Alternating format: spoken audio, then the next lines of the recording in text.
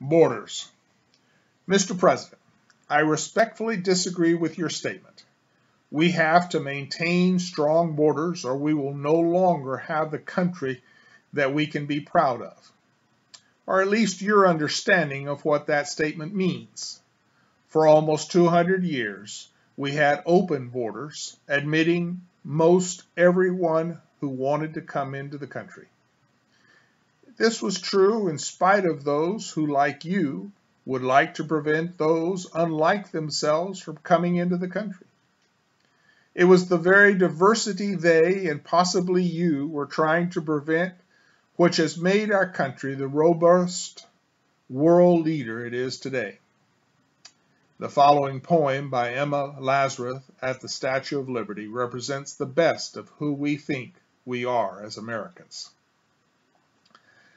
Not like the brazen giant of Greek fame, with conquering limbs astride from land to land. Here at the sea-washed sunset gates shall stand a mighty woman with a torch whose flame is the imprisoned lightning and her name, Mother of Exiles, from her beacon hand glows world-wide welcome her mild eyes command the air-bridged harbor that twin cities frame. Keep ancient lands, you storied pomp, she cries.